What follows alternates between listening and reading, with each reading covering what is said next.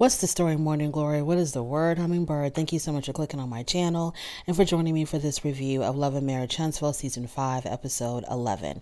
Not much happened in this episode. The only thing that really interested me was Kimmi's story. So I, I want to go ahead and start with that.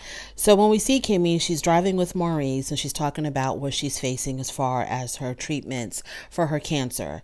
She's got 16 treatments of chemo, she's got surgery coming up, and she also has, oh let me slow down. She has 16 treatments of chemo and then surgery and then radiation.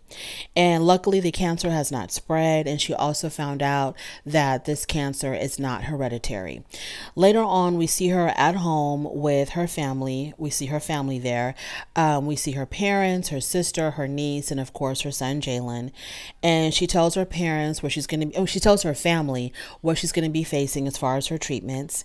And she says that it has become easier to talk about knowing that um, the cancer has not spread, that it's not genetic, and that um, there's a plan in place. And so it's becoming a little bit easier. I think it's finally sinking in, but she's feeling like, you know, she's got this. Like she's going to be there is a solution to this problem and there's an end in sight. So um, I didn't know that when you have cancer that they can't that they plan it out like that. Like they tell you up front, this is what we're going to be doing. We're going to be doing this first and then this and then this and just giving you like a timeline of how things are going to be unfolding.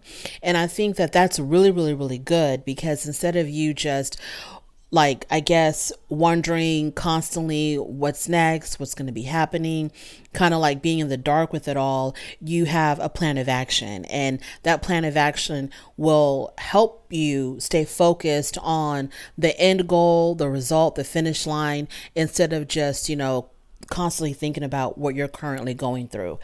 So um, I think that that's that was just really marvelous that she has a plan now. So in her confessional, Kimmi says that she's really worried about Maurice because Maurice is such a fixer and this is something that he cannot fix. And I just think that it's very telling of the kind of person that Kimmi is that even though she's going through something as monumental as fighting cancer, she is still worried about someone else. She's still worried about Maurice and how he's taking this and, you know, how this is affecting him. That just shows you what kind of character, you know, that Kimmi has. So she tells her family that that she believes that she's a thug at heart, meaning that she is going to beat this and she will come out um, the winner. She's going to beat this for sure. So um, we have complete faith in Kimmi. We have complete faith in her medical team. And we know that she's going to get through this with absolutely flying colors. Now, let's go back to the beginning of the episode. The episode actually started off with Stormy. Stormy is shooting a commercial for her company, which I think it's called Canvas Beauty.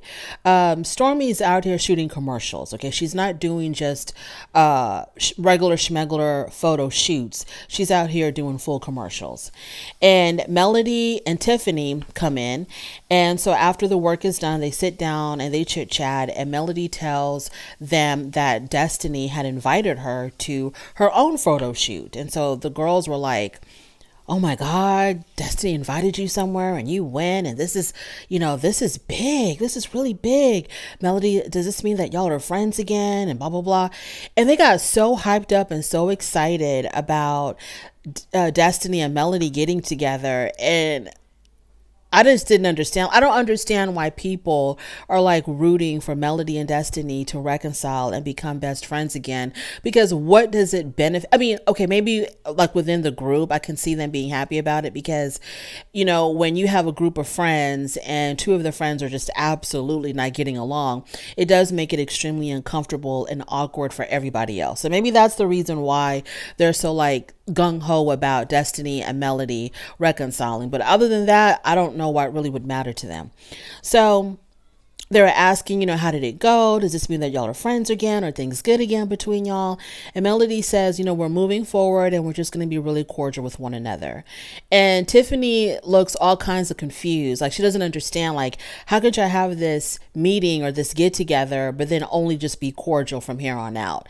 Um, I, I mean, Tiffany, are you like observing anything? I know that you're not around a lot because you're so booked and busy with your, your career, but are you picking up anything at all with the, your cast members? Can't you tell that Melody is over Destiny and it will never be the same again? And don't you know that Melody is the kind of person that once you cross her, that's it. And I don't know why Martell doesn't understand, but we'll get to that later.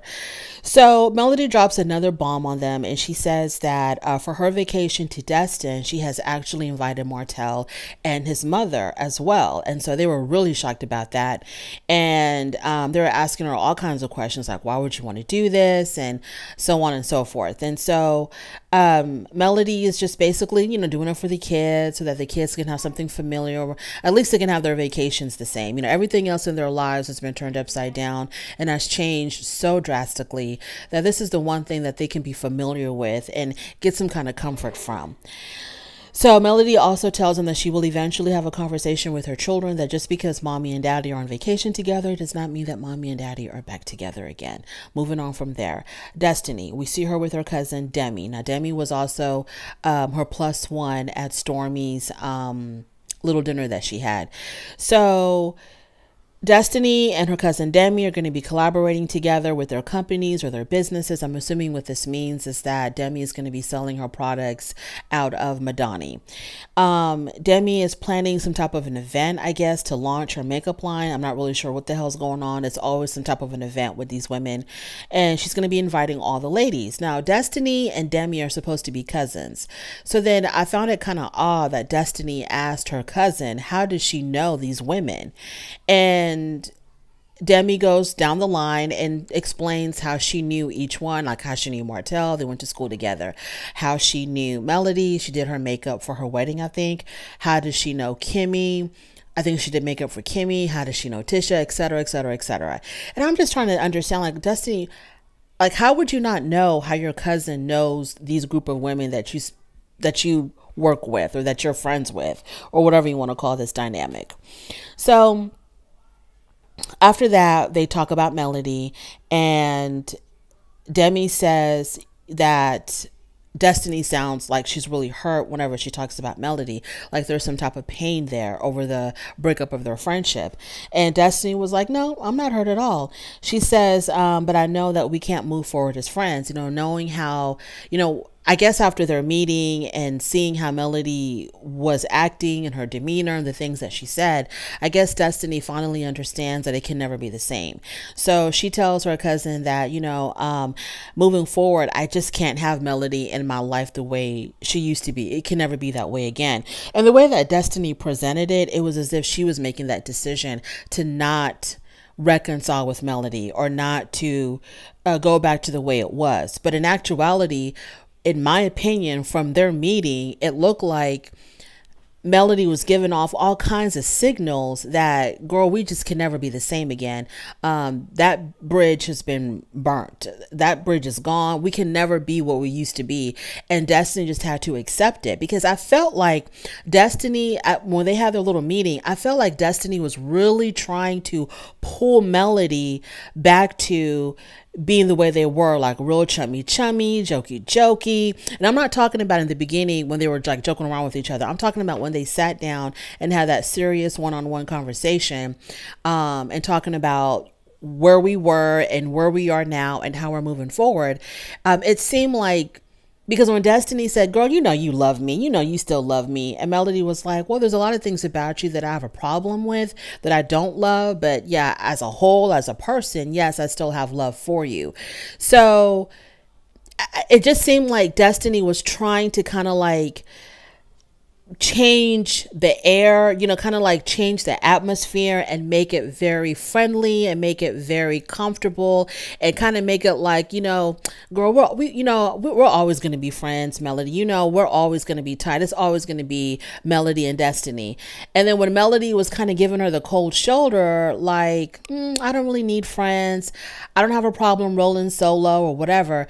That's when Destiny, you know, kind of like understood what the deal really was. And so she kind of presented it to her cousin a little bit differently than the way it actually happened. But girl, if that makes you feel better and helps you sleep at night, go on and you can have that. So moving on to Melody. She's getting ready for her trip to Destin. She tells her mom that Martell and Martell's mom are going to be coming as well. And it kind of seemed like she was just dropping this news on her. This is like the day that she's leaving for Destin, I think. And it made it seem like this was the first time that she was explaining to her mom that Martell and his mom was coming. And I'm thinking that this is something that she would have already had told her mom. I thought the mom was going to be coming with them, but I guess not. I think it's just going to be Martell's mom there with them. So um, Melody says that uh, she tells her mom that she had a conversation with Martell's mom and they kind of sort of cleared the air. You know, that whole laziness thing where Melody really wanted Martell's mom to know that I was not a lazy wife. I don't give a damn what your son said. And the mother in law said, or the ex mother in law said, Oh, Martell didn't tell me that you were lazy. That's what I said. I said that you were lazy. And that just still boggles my mind that anybody would think that Melody is lazy. You know, the way she's hustling around and she's always on the go, it just boggles my mind that people would think that she's lazy. But I don't know. We were not there in the beginning of their marriage, so who the hell knows? So Martell in his confessional, he said he keeps on, and this was like throughout. Every time that we we saw Martell in his confessional, he brought this up quite a bit. He talked about how we don't know what the future holds for Melody and me, kind of like he's holding out hope that maybe there's a possibility that him and Melody will reconcile. And it's like, mm mm mm mm mm. Martell, go have a conversation with Destiny. Um, take some notes from Destiny. When Melody is done, it seems like she is done. She's done done. Moving on from there. So um, we are in Destin. Uh, we have arrived in Destin. The Airbnb that they have is really, really, really nice. I know those kids really enjoyed that. And Martell shows up with his mom, and he brought Melody's favorite snacks, even though he kind of got it wrong. It's the thought that counts. And Melody thought that that was really sweet that he brought her favorite snack. Melody ordered Martell's favorite pizza, but they got the order wrong. And I'm just wondering to myself, is this a sign that. um, the Melody and Martell show um, has had its final curtain call. You know, they were trying so hard to do nice things for each other, but it was like a slight miss. And it just seems like the universe is saying, you know, it's dead in the water. There is no hope for any reconciliation here. Um, yeah. So Melody shows him around the house and Martell started whining about the fact that he cannot, his room was not on the same floor as the children. Martell is annoying as hell. He is so annoying. It's like he's always, he always finds something to complain about. And Melody was, was saying in her confessional, I don't know why he's complaining because number one, I'm paying for this trip. He didn't have to spend a damn penny on this trip. You know, just be happy that you have a nice, cute little house to stay in by the beach with your children and with your ex wife. Just be grateful for that and stop complaining about every little thing.